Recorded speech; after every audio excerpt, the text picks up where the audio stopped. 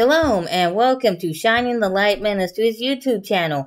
My name is Desiree Jordan. My brother Aquila Jordan and I are the founders of Shining the Light Ministries. Our mission is to share the gospel of Jesus Christ with everyone we can and also to equip believers to become more like Christ daily. This channel features a read through the Bible in a year series, weekly Bible study videos, music videos, and more.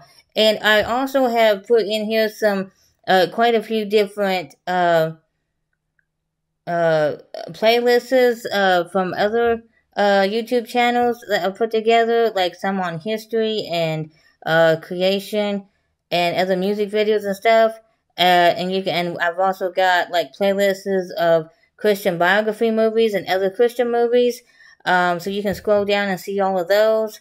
Uh, also, um, we do have plans for many more of our own projects in the future, but all of these will take time because our ministry is ran by just uh, my brother and I, and we both uh, work 40 hour week jobs. Um, so please consider supporting our ministry so we do have more resources to reach more people for Christ. And you can set up a monthly donation on Patreon or give a one time donation on PayPal. Please see the links in the description below. Thank you so much for any donation that God places on your heart to give.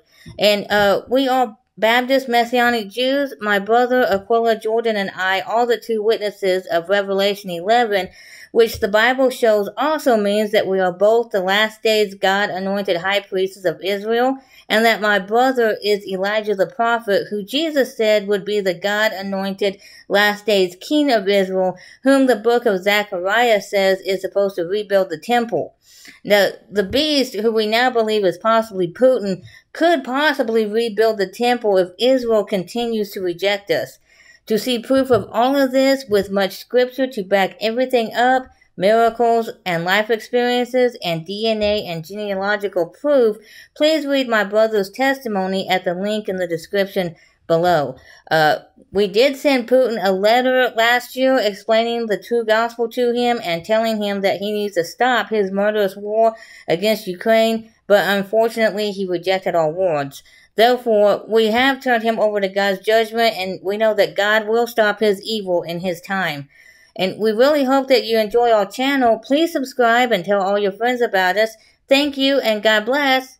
Bye.